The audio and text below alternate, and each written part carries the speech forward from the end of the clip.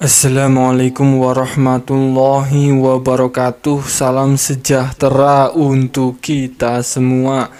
Pada kesempatan video kali ini kita akan sama-sama kembali menyimak ada informasi terbaru yang sangat membahagiakan bagi Anda KPM PKH dan BPNT pemegang kartu KKS Merah Putih yang sampai saat ini belum cair bantuan sosialnya untuk tahap kedua di bulan Maret yang sangat berkah ini. Sementara tetangga kerabat atau atau teman Anda sudah pada cair, Anda belum cair. Ada kabar terbaru pada hari ini terkait proses pencairan bantuan PKH tahap kedua dan BPNT tahap kedua. Pada hari ini proses pencairannya ini masih sedang dilanjut dicairkan oleh Bank Himbara ke masing-masing kartu KKS KPM yang namanya sudah berhasil di SK-kan masuk masuk di dalam SP2D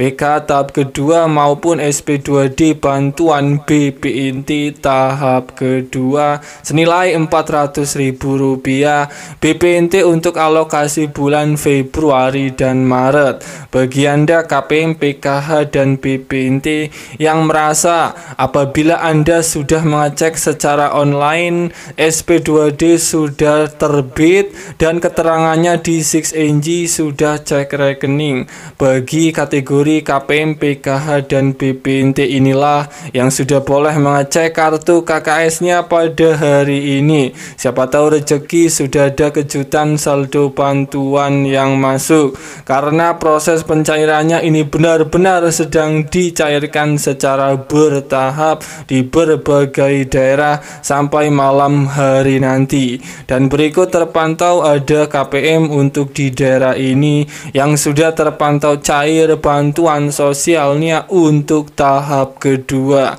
Kira-kira daerah-daerahnya mana saja? Keluarga penerima manfaat KPM yang sudah terpantau cair bantuannya pada hari ini. Mari simak video ini sampai selesai supaya tidak menimbulkan gagal paham.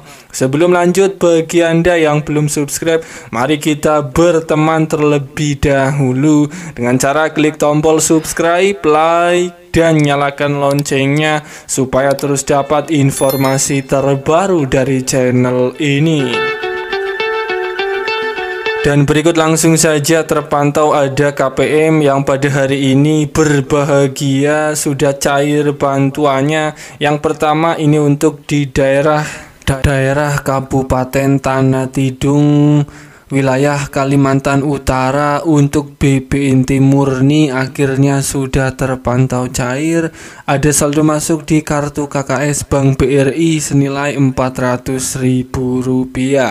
Kemudian selanjutnya masih untuk di Bank BRI daerah Pamekasan. Kartu KKS sudah terisi untuk bantuan BPNT tahap kedua senilai Rp400.000. Alhamdulillah Saya ucapkan selamat bagi para KPM yang sudah cair BPNT tahap keduanya pada hari ini.